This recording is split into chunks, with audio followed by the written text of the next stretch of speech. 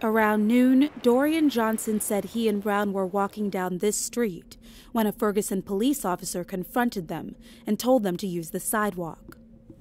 The officer then stopped his car only inches away from the pair and tried to open his door, but the door bounced off the pair and closed on the officer. A struggle ensued, and that's when the officer, 28 year old Darren Wilson, drew his weapon and fired the first round, hitting Brown. The two ran off, and Wilson continued after them. Johnson says he next hid behind the first car he saw and witnessed the officer get out of his vehicle, follow Brown, and fire at the fleeing teen. According to Johnson, an injured Brown next got on his knees and put his hands up to indicate he had no weapon. The officer continued shooting at Brown several times. Ferguson police offer a different account.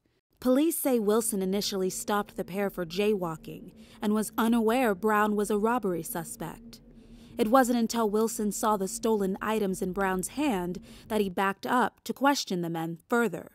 Police said Brown physically assaulted Wilson and during the struggle reached for the officer's gun. One shot was fired in the car, followed by several more, which led to Brown's death. An independent autopsy contracted by Brown's family revealed he was shot at least six times. Only three of the bullets were recovered from his body. He was shot four times in the right arm and twice in the head. One of the two bullets entered the top of his skull, suggesting his head was bent forward when he was shot. Another went into his right eye, through his face, exited from his jaw, and re entered his collarbone, causing several wounds.